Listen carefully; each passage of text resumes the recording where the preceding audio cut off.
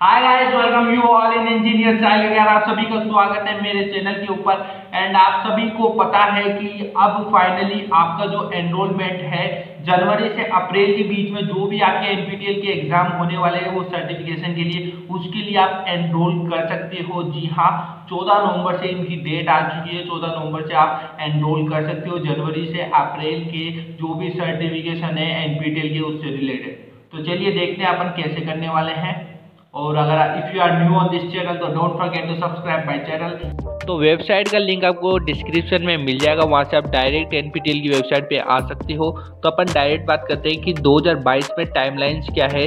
तो जनवरी का जो एग्ज़ाम है, वो जनवरी ट्वेंटी से स्टार्ट होगा, चाहे वो फोर वीक का हो एट वीक का हो, या ट्वेल्थ वीक का हो।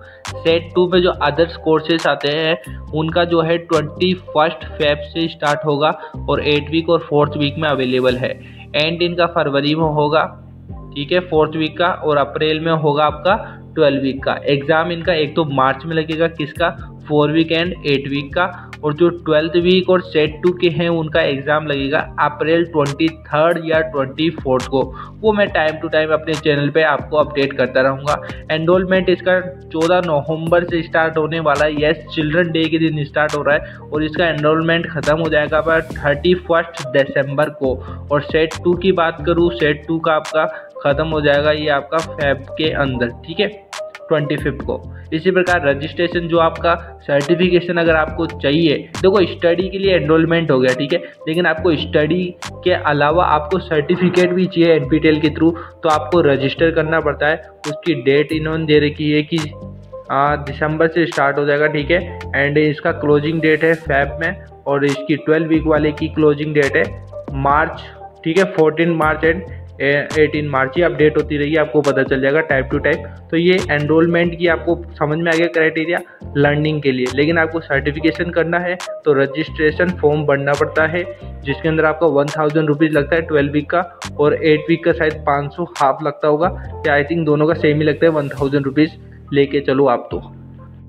एंड देन फाइनली असाइनमेंट और एग्ज़ाम बढ़िया गया तो आपको सर्टिफिकेट मिल जाएगा। अगर आपको क्राइटेरिया नहीं पता कि कितना एलिजिबल पे क्या होता है तो हमारी वीडियो जो है, उनके लिंक मैंने डिस्क्रिप्शन में दे दिए हैं। वहाँ से भी आप चेक इट आउट कर लो।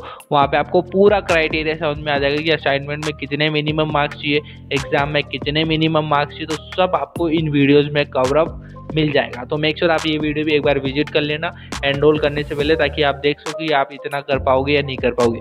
दूसरी बात ये कि आपको आईआईटी के थ्रू आपको बहुत सारे सर्टिफिकेट मिलने वाले हैं। तो असाइनमेंट में दिक्कत आएगी तो कमेंट में मुझे बता देना। कमेंट सेक्शन में मैं आपकी हेल्प कर दूँगा कि उस पर्टिकुलर क्वेश्चन का आंसर क्या होगा। तो इतनी हेल्प तो मैं कर ही सकता हूँ आपकी, ठीक है? अब ये देखो देखो, बहुत सारी क्राइटेरिया है, कहीं भी भी जाके एनरोल कर सकते हो आप। जैसे आप कंप्यूटर साइंस के बच्चे तो कंप्यूटर साइंस पे क्लिक करो एग्रीकल्चर करना है आपको बायोलॉजी करनी है केमिस्ट्री करनी है मैथ करनी है मैनेजमेंट का आपका कुछ रिलेटेड है तो आप कोई भी ऑप्शन क्लिक कर लो, जिससे आप बिलोंग करते हो, ठीक है?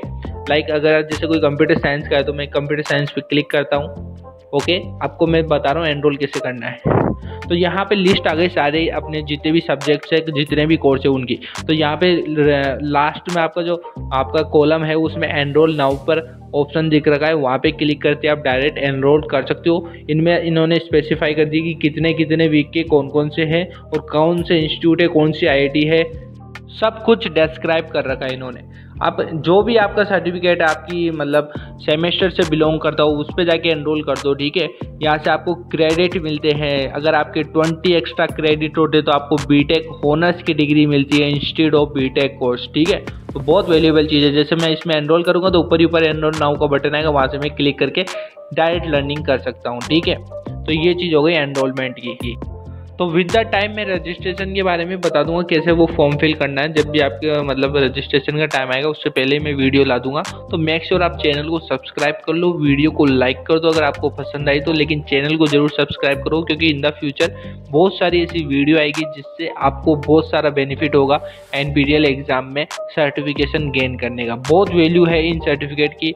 In the future with the time you will understand that things okay and I think आपको पूरा कवरअप करने की मैंने पूरी कोशिश की, आपको समझ में आ गया होगा। सो जय हिंद, जय भारत, मिलता हूँ नेक्स्ट वीडियो के साथ में। एंड कोई भी डाउट कमेंट सेक्शन में बेझिझक होके बताना। ओके